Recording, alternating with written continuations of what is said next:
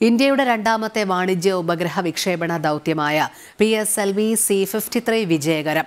ഭൗമനിരീക്ഷണ ഉപഗ്രഹമടക്കം സിംഗപ്പൂരിന്റെ മൂന്ന് ഉപഗ്രഹങ്ങൾ വഹിച്ചുകൊണ്ടാണ് റോക്കറ്റ് കുതിച്ചുയർന്നത്. ശ്രീഹരിക്കോട്ടയിലെ സതീഷ് ധവാൻ സ്പേസ് സെന്ററിൽ നിന്നായിരുന്നു വിക്ഷേപണം. രണ്ട് ഉപഗ്രഹങ്ങൾ സിംഗപ്പൂരിലും ഒരെണ്ണം ദക്ഷിണ കൊറിയയിലും നിർമ്മിച്ചവയാണ്. ഐ എസ് ആർഒയുടെ ഈ വർഷത്തെ രണ്ടാമത്തെ ബഹിരാകാശ ദൗത്യമാണ് ഇത്.